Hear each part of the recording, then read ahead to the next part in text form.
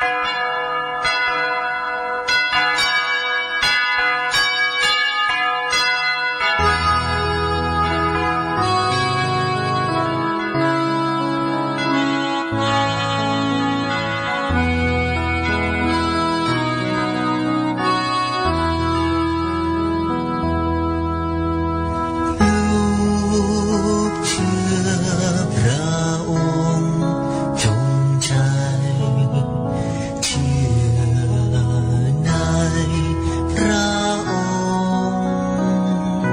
ดีครับพี่น้องผู้ฟังและพี่น้องคริสตชนที่รักในพระคริสตเจ้า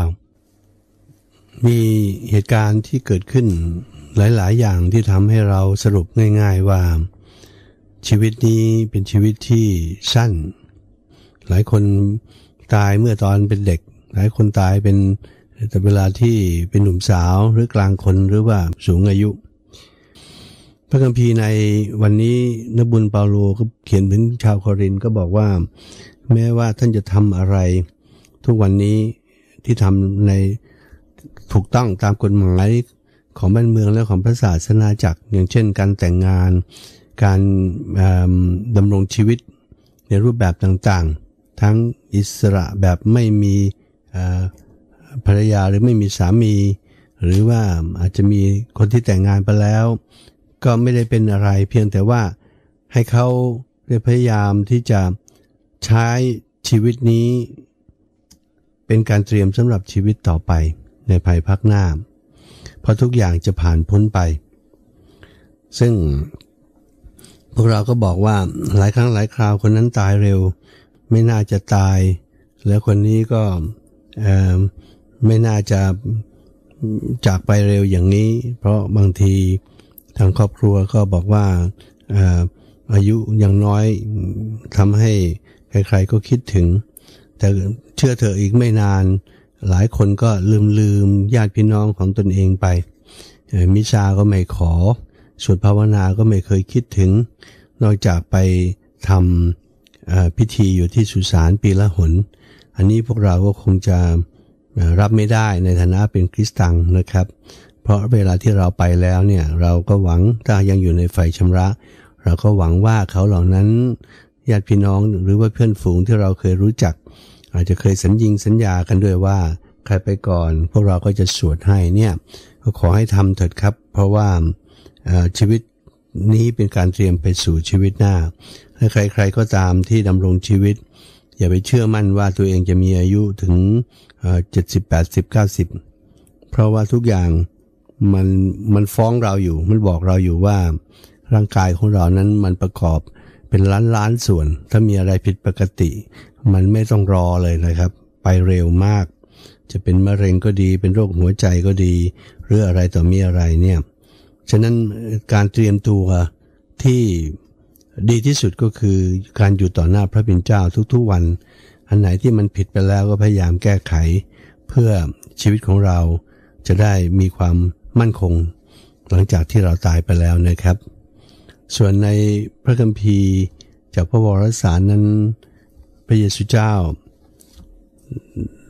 โดยทานบุญลูกาเนี่ยก็ถ่ายทอดให้เราเห็นว่า พระเยซูเจ้าทอดพระเนตรบรรดาศิษย์ตรัสว่าท่านทั้งหลายที่ยากจน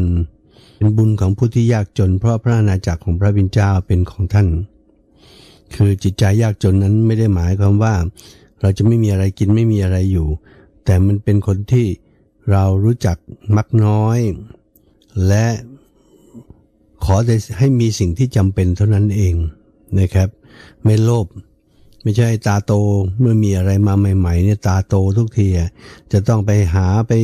หาวิธีการที่จะได้มาอันไม่ใช่ อันนั้นไม่มีทำให้เรามีมีบุญเลยครับ แต่จะวุ่นวายสำหรับคนที่พระอาณาจักรของพระเป็นเจ้าจะเป็นของเรานั้นคือคนที่มีความยากจน ไม่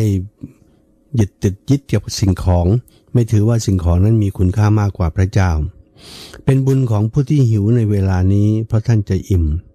หิวในที่นี้หิวคุณงามความดี เราจะต้องสร้างคุณงามความดีขึ้นมาในชีวิตของเราให้มากขึ้นนะครับ เป็นบุญของผู้ที่ร้องไห้เวลานี้ เพเพราะเขาจะหัวเราะ ถ้าเขาต้องทุกข์ยากลำบากแบกกางเขนพร้อมกับพระเยซูเจ้า ด้วยความชื่นชมยินดี เขาก็จะได้หัวเราะสักวันหนึ่ง เป็นบุญของท่านทั้งหลาย ที่มีคนเกลียดชังท่านปรักใสท่านดูหมิ่นท่าน รังเกียจนามของท่านเป็นหนึ่งว่าชั่วร้าย เพราะท่านเป็นสิทธิ์ของบุตรแห่งมนุษย์ จงชื่นชมในวันนั้นเถิดจงโลดเต้นยินดีเถิด เพราะบำเหน็จรางวัลของท่านนั้นใหญ่ยิ่งนัก ก็แน่นอนครับ ในฝูงชนนั้น หลายครั้งเมื่อมีคนหนึ่งทำผิดก็จะทำผิดด้วยด้วยกัน แล้วก็ถือว่าเป็นสิ่งธรรมดา แต่ถ้าหากเราเข้าใจว่าพระเป็นเจ้าไม่ต้องการให้คนทำผิดอย่างนั้น เราจะจะต้องเป็นอีกฝ่ายหนึ่งคือจะไม่ตามคนอื่นเขา ในประเทศเกาหลีก็เคยมีนักเขียนคนหนึ่งที่ถูกตัดสินจำคุกตลอดชีวิต เพราะได้เขียนบทกวีต่อต้าน รัฐบาลที่ไม่ดูแลคนยากจนเลย และหลังจากนั้นมันก็มีเรื่องที่เกิดขึ้นอีกที่น่าน่าขำก็คือว่า เมื่อรัฐบาลตัดสินอีกครั้งหนึ่ง ก็บอกว่าจะต้องเพิ่มโทษเขาอีกเจ็ดปีดูสิครับ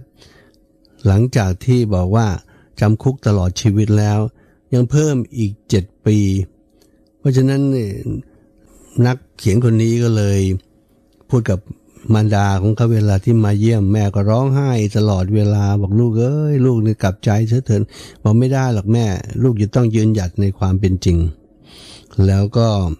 แม่ทราบไหมเมื่อเช้านี้เขาตัดสินลูกนะ่ะให้อยู่อีกเจ็ดปีหลังจากที่ลูกตายไปแล้วมันเป็นการพูดเย้อเย้ยถากถางรัฐบาลนะครับ แล้วก็ ก็เห็นว่าเนี่ยก็คือคนที่ต่อสู้เพื่อคนยากจน และเขาพร้อมที่จะตายเพื่ออุดมการอันนี้แหละครับคือคนที่น่ายกยอน่าสรรเสริญ คนที่มีอุดมการที่จะอยู่เพื่อคนอื่น นั่นเป็นสิ่งที่ประเสริฐที่สุด และพวกเราเองก็จะต้องเรียนแบบอย่างเขาเหมือนกัน ว่าถ้าเพื่อความดีของคนอื่นเนี่ยเราก็ต้องทำ แม้ว่าคนอื่นนั้นจะไม่เห็นดีด้วย หรือจะอาจจะด่าว่าต่างๆ นานา แต่จงภูมิใจเถิด เพราะสิ่งที่เราจะได้รับนั้นยิ่งใหญ่มากนักในเมืองสวรรค์ ก็ขอพระมินเจ้าประทานพระพรให้พี่น้องทุกท่าน ได้มีกำลังใจในการดำรงชีวิตนะครับ สวัสดีครับ